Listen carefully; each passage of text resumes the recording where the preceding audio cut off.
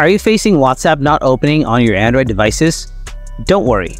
In this video, we'll help you resolve the issue by applying some effective methods. Follow these steps to get your WhatsApp up and running again. Before you follow anything, here's what you need to do. Open Settings, scroll down, tab Developer option, scroll down, find out Graphic Driver, find WhatsApp, select System Graphic Driver. After that, go back, scroll down, enable Wi-Fi scan throttling, scroll down, tap Mobile Data Always Active. After that, just restart your Android and your problem will be solved.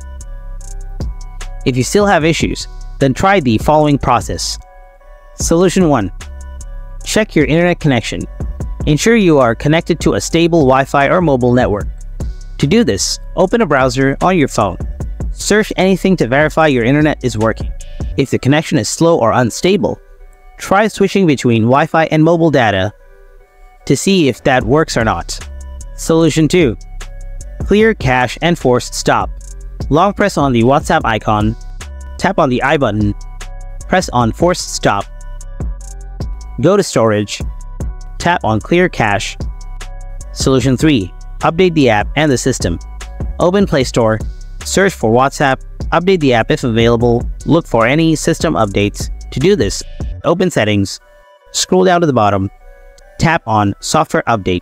If there is any update available, download and install it and restart the device.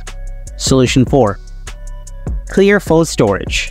Open Settings, go to Device Care, tap on Storage. If there's not much space left, make some room in the storage. Remove items from trash, delete duplicate files. If the problem persists, wait for some time, WhatsApp might solve the issue internally. Let us know in the comment box which one worked for you. Thanks for watching and I'll catch you in the next one.